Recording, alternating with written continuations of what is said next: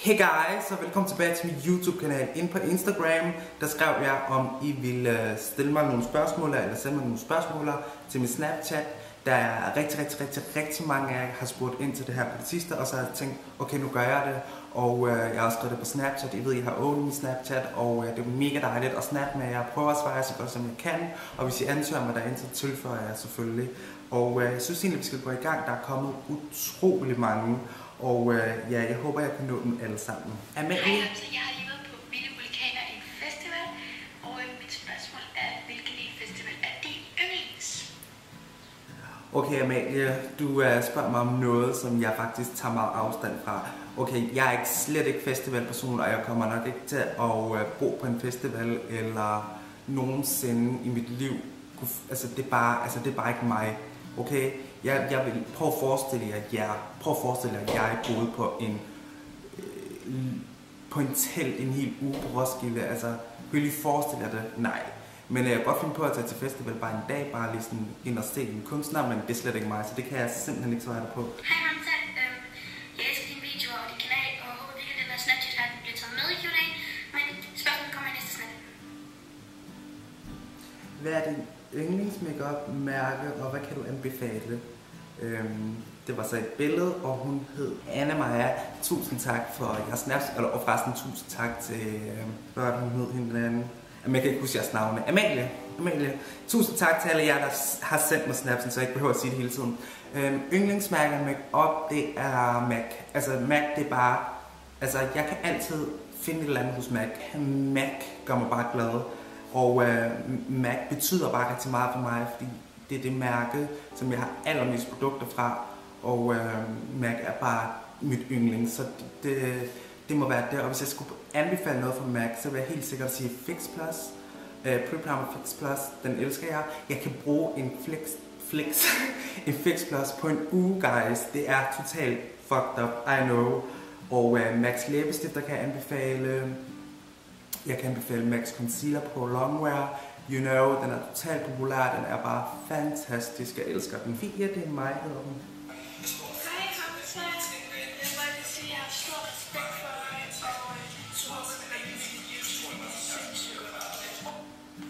Hej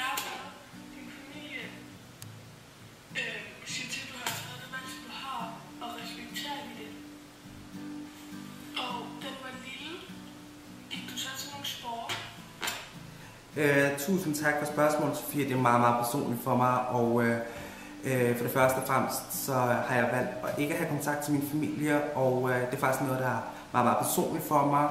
Og øh, det er noget, jeg ikke har snakket om, fordi jeg synes, det er et meget ømt punkt, og jeg synes, det er et meget, meget sårbart punkt for mig. Og jeg kan bare mærke, at jeg bliver sådan lidt rørt nu, fordi at det er bare noget, der sidder dybt i mig, fordi det har bare været nogle ting, altså de har ikke kunnet acceptere det, men øhm, hvis I gerne vil have en video omkring hele historien, så må I virkelig gerne give en like, eller skrive det i kommentaren. I må faktisk gerne give et like, for så ved jeg, om I virkelig gerne vil have det.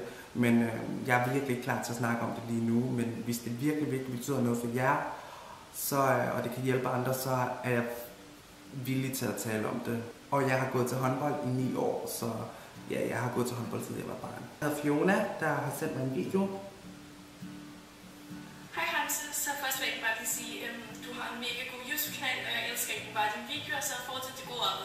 Thank you. Og mit spørgsmål til en Q&A er, hvad sagde dine sådan, drengevenner, da du fortalte dem, at du var homoseksuel? Altså, tog de afstand fra dig, eller hvad gjorde de? Og så har jeg altså et andet spørgsmål, og det er, om du nogensinde har overvejet at flytte over til Splay, hvis du havde muligheden. Øhm, det med, da jeg sprang ud, det er også igen meget øm på mig for mig, fordi at jeg mistede rigtig mange drengevenner, og især min barndomsven ville ikke tale med mig, taler heller ikke med ham i dag. Så ja, det var meget, meget, meget, meget forfærdeligt tidspunkt i mit liv. Og øhm, altså, jeg fortryder ikke, at jeg har sprunget ud, og øhm, altså, det har bare været rigtig hårdt. Det synes jeg virkelig lige der, hvor jeg sprang ud. Og jeg, går, I kan også godt mærke på mig nu, så bliver jeg sådan lidt, du ved, jeg, vidste, jeg ved ikke rigtig, hvad jeg skal sige, fordi at det har bare været rigtig hårdt, og, og, og at folk bare tog afstand fra en. Øhm, og det kommer, jeg tør også snakke om rigtig, rigtig meget, og øhm, ja, jeg bliver meget nervøs nu, og det gør jeg aldrig, fordi at det er bare nogle dårlige minder. Kan ikke det der med, at man sidder inde med nogle ting, som har gjort rigtig ondt, og så er der nogen, der skal spørge dig ind til det, og, øhm, og så er det bare lidt svært at sige det. Strøm har sendt en billede, hvor hun står, at hvis du var med i en film, hvilken skulle det være elsker dig og dine. Øh, hvis jeg skulle være med i film, så skulle det være The Notebook. Og jeg synes, den, vi- altså, den film den er bare fantastisk, og øhm, det kommer faktisk på tv nu her på søndag, så den skal jeg se igen. Jeg elsker The Notebook, det er bare en smuk historie. Elma, hun har sendt mig et billede. Hey. Øhm, så er der Elin, der har sendt mig en video. Hvor lang tid har du været på YouTube? Kan du huske den allerførste video, du lavede? Hej Elin. Jo.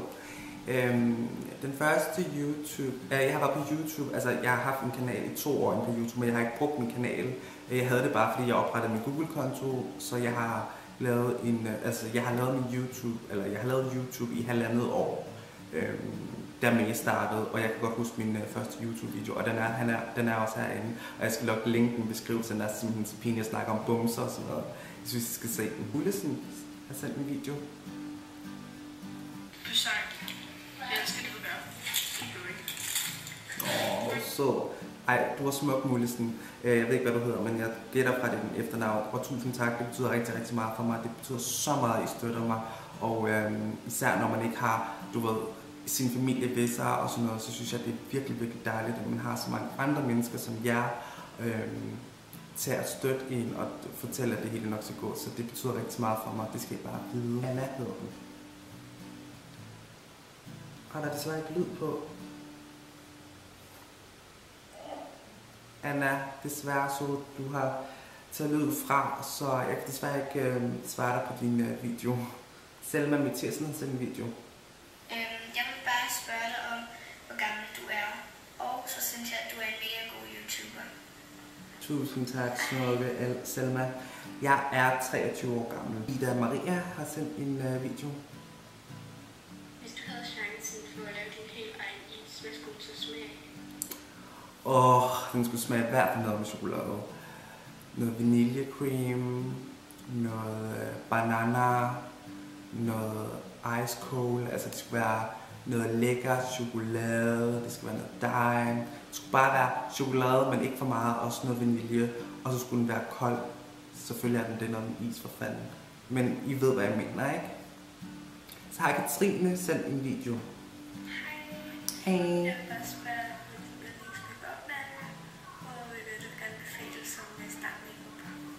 Min yndlingsmakeup-mærke, som sagt, det er MAC. Og øh, hvis jeg vil sige, hvis man er nybegynder i makeup, så vil jeg selvfølgelig sige, at man skal jo selvfølgelig starte i drugstore. Og som drugstore, der vil jeg selvfølgelig sige, at I skal starte med NYX. Og øh, NYX er virkelig bare lækkert, synes jeg. Det er noget lækkert makeup. Det er, du finder så meget øh, udvalgte. Det er min yndlings drugstore. Maybelline har også noget rimmel. Altså alle mærker, der er drugstore, har et eller andet, der er godt. Så hvis I skal starte med noget, så synes jeg selvfølgelig, at I skal starte med mascara og øhm, øjenbryn. Måske noget blush og så foundation. Øh, man behøver ikke en concealer, når man lige er startet med makeup girl. Sara, hun skriver, Hej Hamza, vil du, hvad, hvad, hvad er dit yndlings makeup produkt? PS elsker dine videoer. Jeg ved ikke, om hun har sendt andet. Jo, Min yndlings makeup produkt, det må være Max Fix Plus, fordi det er bare, det er bare min yndlings. Det, det, det, den, den gør så meget godt for en, guys. Virkelig godt for en. Alberte Syg, Sygter, Sygter, Sygter, sorry, hvis jeg ikke kan sige det ordentligt. Har sendt en video.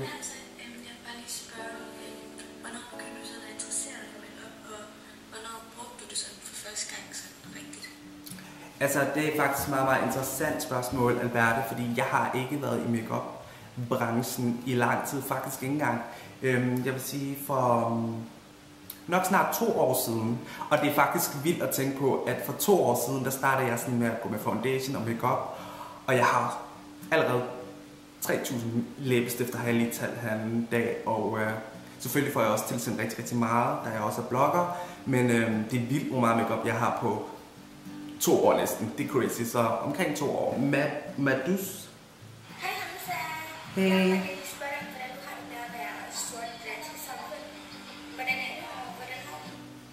Du er rigtig, rigtig smuk, øh, Madus. Øh, at være mørk i det danske samfund kan være lidt mærkeligt nogle gange, synes jeg. Altså, ikke, øh, jeg synes ikke, jeg møder meget modstand, men jeg synes også, der er mange især ældre, der godt kan være lidt sådan, kigger lidt ekstra på mig nogle gange, eller nu går jeg også med makeup, så er der nogen, der sådan, især ældre, synes jeg, der er meget sådan, øhm, men ellers giver jeg fuck for det, altså jeg synes ikke, hudfarve burde være noget problem. Men altså, jeg føler mig egentlig bare sådan, som jeg er. Øhm, og jeg er, egentlig, jeg er egentlig den person, som har det på den her måde, at jeg er den, jeg er. Øh, om jeg er grøn, gul, grøn, gul, grøn, om jeg er homo, eller om jeg ikke er homo, det skal der bare være plads til alle. Jeg har sendt et billede her, jeg er virkelig stor fan af dig. Thank you, darling. Jeg tror faktisk også, hun har sendt andet. Jo, det har hun, det var et billede. Ja, hvornår laver du et meetup? Det ved jeg faktisk ikke. Hvordan har du med hate?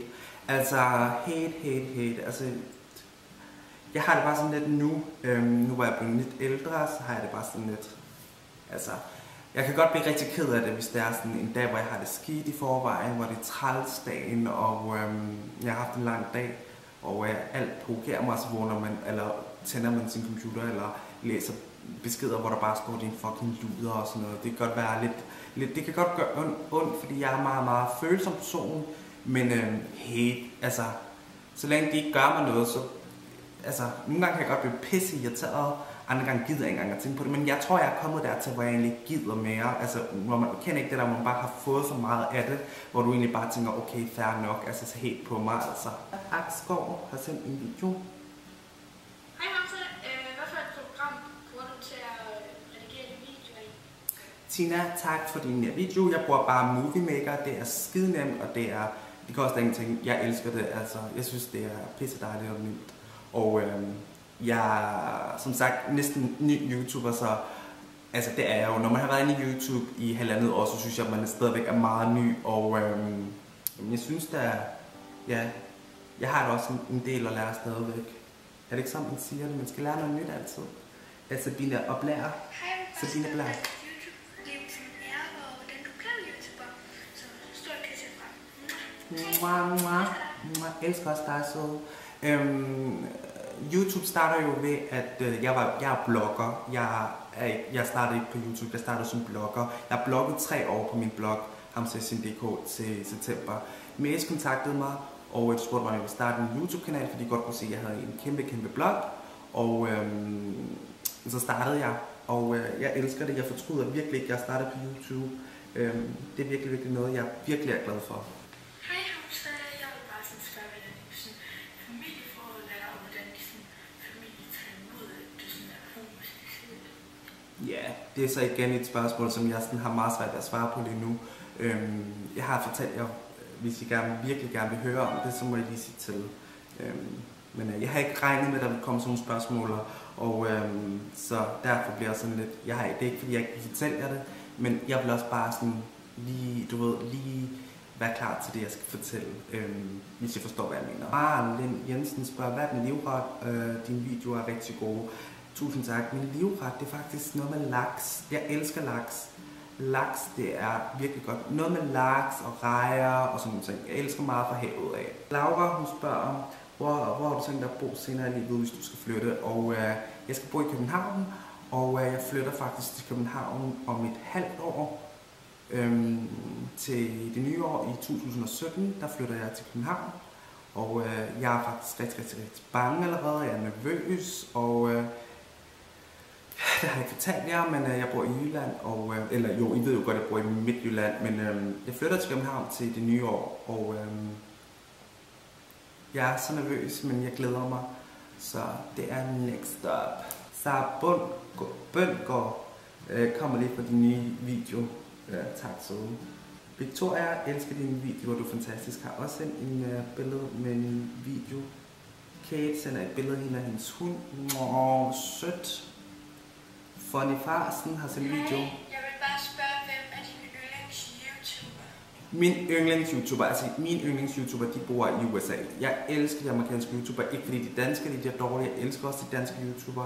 Øh, Jeg synes, det er så fedt. Alle danske YouTuber gør det så fedt. Øhm, Men min yndlings-YouTuber, de er nok de amerikanske. Jeg kan godt lide øhm, Dizzy og Makeup, øh, Makeup Shirley, tror jeg hun hedder, og Creepy og alle de der Practical Star og sådan nogle ting. Jeg synes, de er så fede.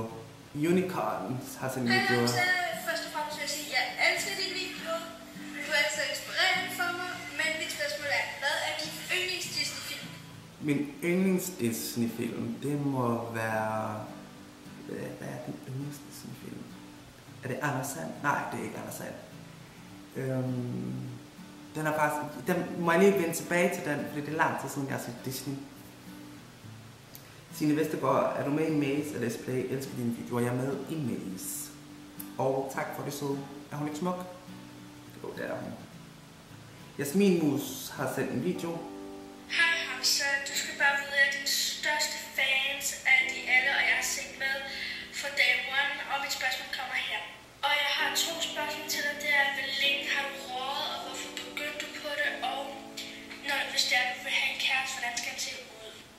P.S. Elsker virkelig meget din video, jeg ser dem hele tiden, og jeg finder så til og sådan noget. Elsker dig. Nå, Hej.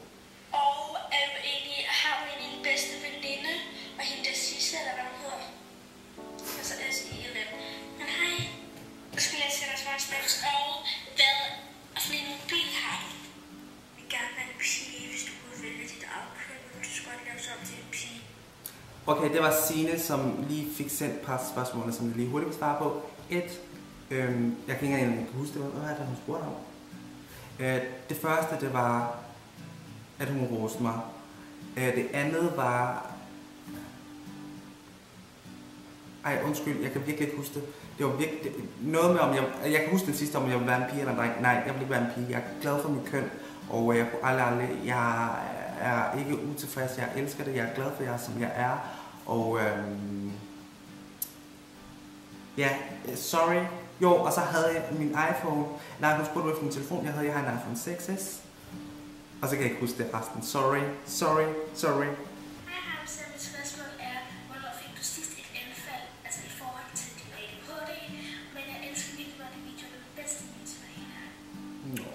Sød. Gasly Bora. Jeg mener faktisk, jeg mødte hende her i... Øhm, hvad var det, det hed? Jeg mener, jeg mødte hende... Jeg mener, det var hende, jeg mødte i magasin. Jeg, jeg kan ikke huske det. Øh, sidst jeg fik en anfald, jeg får faktisk tit anfald, øh, især hvis det bliver for varmt, hvis ting irriterer hvis jeg er presset. Øh, det er lidt forskelligt. Min anfald kan gå op og ned. Det kan være små anfald, store anfald, og øh, ja, det er lidt forskelligt. Øh, ja. Det er også meget ømt punkt for mig, kan I mærke, når jeg, sådan, når jeg spørger meget ind til sådan nogle med personlige ting, så bliver jeg sådan lidt nervøs og bange faktisk på en måde, fordi øh, jeg troede selv, altså når, jeg tænker sådan tit, jamen du, du, du kan godt snakke om det, men jeg kan godt mærke på mig, når jeg sidder foran kamera, så bliver jeg faktisk rigtig nervøs, og så bliver jeg sådan lidt utilpas, fordi at øh, jeg skal sige noget, som er meget personligt for mig, hvis I forstår. Mit Emma? spørgsmål er, hvis du kunne vælge et make-up produkt, du kun skulle leve med, hvilket skulle det så være? P.S. Jeg elsker dine videoer. Øh, jeg har svaret på det, og øh, det er Max Fix Plus. Okay guys, det var dem, jeg kunne nå den her omgang. Der var virkelig, virkelig mange, og øh, jeg håber ikke, at den her video bliver for lang. Som sagt, så er jeg rigtig, rigtig glad for alle de spørgsmål, der er kommet. Jeg kan ikke svare på jer alle, og øh, jeg skal nok svare jer så meget som muligt på Snapchat. I, øh, I må gerne tilføje mig, jeg godkender jer. Og øh, ja, jeg synes, det er pisse hyggeligt at snappe med jer faktisk. Øh, jeg snappede med en eller anden... Jeg snappede med, jo, jeg snappede med en, der hedder Clara her en anden aften klokken 4 om natten, og vi, vi sad bare og snappede og havde det mega hyggeligt. Jeg synes, det er skide hyggeligt at snappe med. Jeg ved godt, at jeg er mega langsomt på Snapchat, men jeg vil gerne svare så mange som muligt. Og jeg vil gerne svare ordentligt tilbage, og øh, jeg håber, at det er i orden. Jeg er vildt taknemmelig for, at I gider at øh, bruge